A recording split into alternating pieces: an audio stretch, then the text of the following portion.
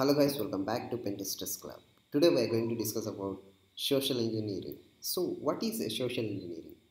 So social engineering refers all techniques aimed at talking a target into a revealing a specific information or performing a specific actions for legitimate reasons. So now we will get it done how to do a social engineering. Open terminal, type sudo su, then enter your password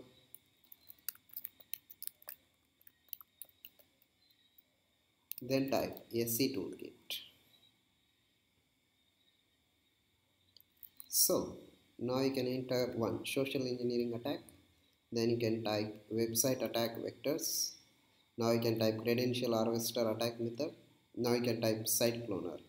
So it will ask an IP address, you can leave it as same. Okay. Now you need to enter here a target IP address http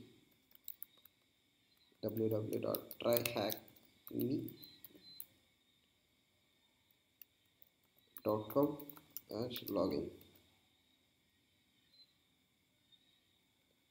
so now it's available so now we need to go here you need to copy this IP address just copy so you need to share this one to your victim so you can paste it here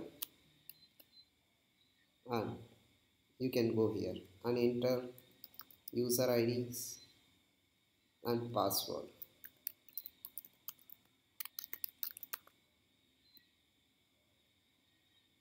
That's it guys. Okay. Now you can see here it's fine. Username and password. Okay. Try it your own guys. Thank you guys for watching. Have a nice day